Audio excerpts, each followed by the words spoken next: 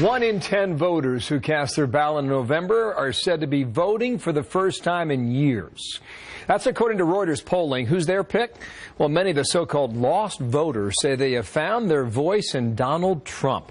Matthew Continetti is the editor-in-chief of the Washington Free Beacon. How you doing, Matthew? And good morning and welcome back here to America's Newsroom. Here's what Reuters found. New Republican independent voters support for Trump among new voters, 27.3%. That's the figure. What's a lost voter?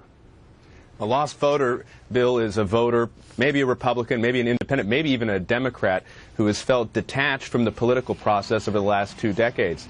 They were supporters of Ross Perot in 92. They were supporters of Pat Buchanan in 92, 96. And now it seems like they're leaning heavily toward Trump because of his positions on trade, because of his positions on immigration, and even, I think, because of his positions on foreign policy. Kind of a repudiation of the Bush Romney years uh, in the GOP. Okay, you wrote on Friday, right? It's Donald Trump's race to lose. That's your piece, right?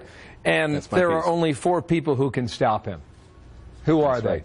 Well, the, at the top of the list is Ted Cruz. We just heard from Carl Cameron. It's really coming down to a Cruz-Trump race in Iowa and New Hampshire.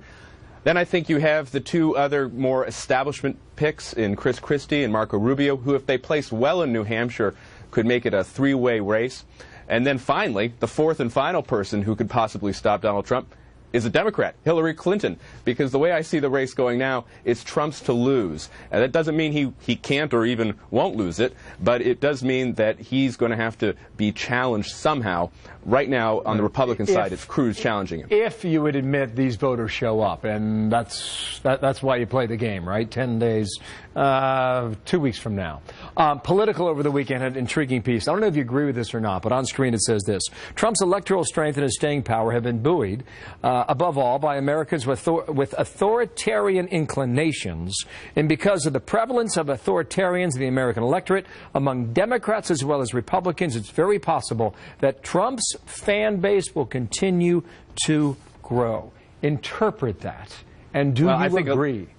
I think a lot of it is psychobabble, authoritarian inclinations. I don't know what that, that means, what the, how they define that term. What I do know is that if you talk to Trump supporters, they like him because they think he's a strong leader, and they also like the fact that he's not afraid to say what's on his mind. Then when you ask him, well, how is he going to run the government, the voters often say that he'll hire the right people. I think it's for those reasons, plus the policy positions, that the disaffected voters are very strong for Trump. The question is, will they show up?